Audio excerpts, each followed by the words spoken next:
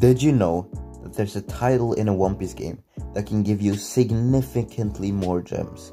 This title can be acquired either at Sengoku's domain in Second Sea by a title merchant or in Logue Town. Now this title is called Gem Merchant and actually gives you 20,000 gems by just one AFK session.